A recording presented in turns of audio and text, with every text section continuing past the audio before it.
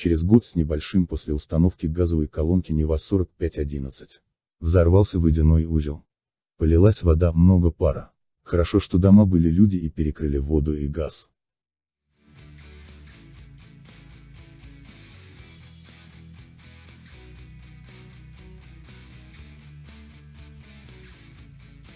Этот водяной узел был установлен на заводе. Ровно через год поставили этот. Затем этот.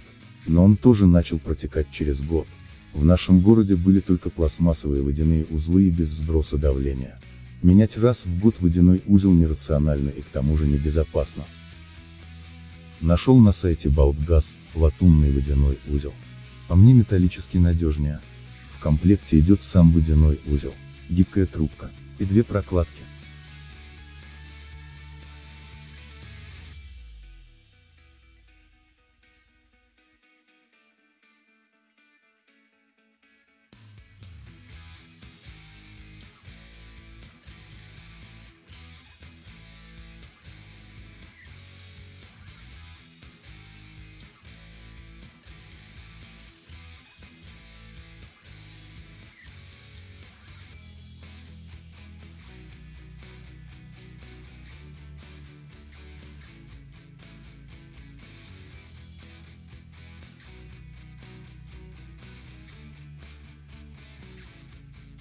Для замены снял переключателя.